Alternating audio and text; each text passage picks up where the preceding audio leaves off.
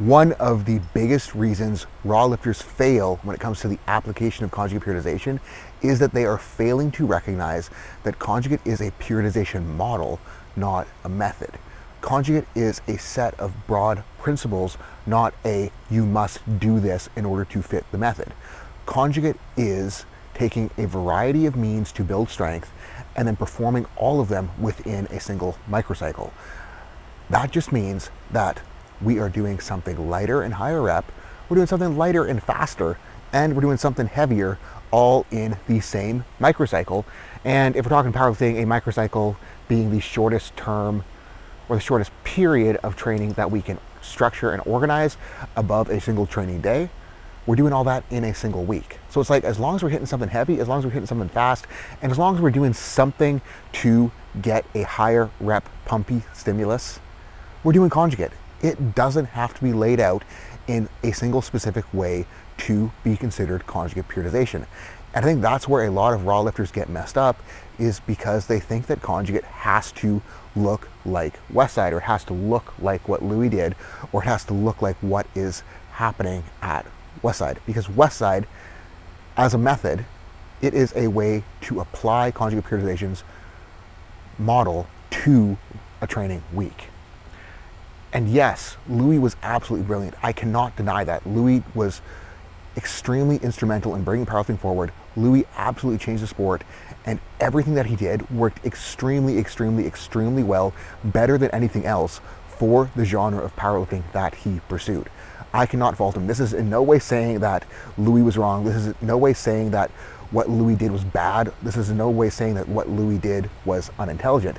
This is saying that he was fucking brilliant for multiply powerlifting. The problem is that right now, I ain't trying to multiply powerlift, and you probably aren't either if you're watching this video. So where does that leave us? Well, we got to do things a little bit different if we want to succeed for raw. And it's like, what are the biggest differences between multiply powerlifting and raw powerlifting? Well, the big one is that in raw powerlifting, we're not wearing that supportive gear, right? And it doesn't necessarily mean that we need to be stronger if we're a raw lifter. It just means that we need to be stronger in different areas because we do not have the support of the equipment. We need to prioritize our quads.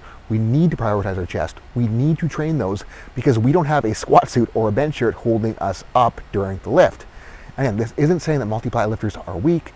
The best multiply lifters are extremely strong. They are just strong specific to the demands of multiply gear. Westside was designed to make lifters strong to the demands of multiply gear. And I know, I know, I know everyone always wants to say that the gear of the 90s was basically raw, the gear of the 90s, blah, blah, blah, blah, blah. The 90s Westside guys trained raw, they only put the gear on at the meets. And yes, that is all true. But in order to get pounds that 90s gear, they still had to lift with the technique that was directed towards getting pounds out of the gear, not using their quads to get pounds out of the squat. They were still trying to get pounds out of the bench shirt and modifying their technique and modifying their training to optimize for putting on a bench shirt.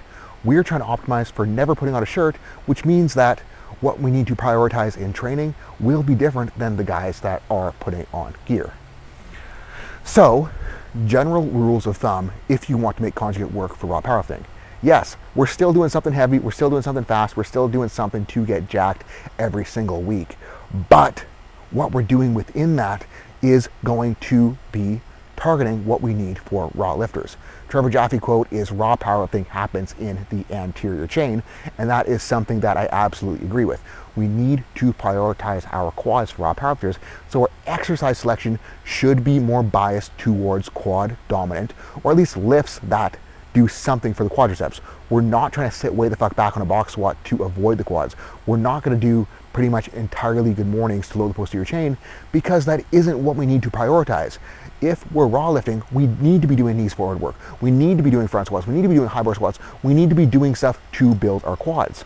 On the bench side of things, yes, triceps are still going to be important for raw lifters, but they shouldn't be the only thing that matters because we need pecs, we need bottom end.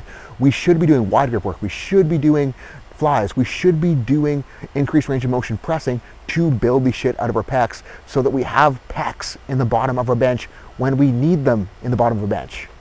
So guys, conjugate periodization as a model absolutely can work for raw powerlifting. but it doesn't need to look like Westside. And yes, it can look a little bit like Westside in the layout, but we probably shouldn't be doing the same exercise selection as the multiply guys that succeed with the Westside method use. And again, someone's gonna say, it's not Westside unless you're at Westside. Yeah, well, no shit, fucker. And I'm out. Don't be afraid of training. Thank you for watching.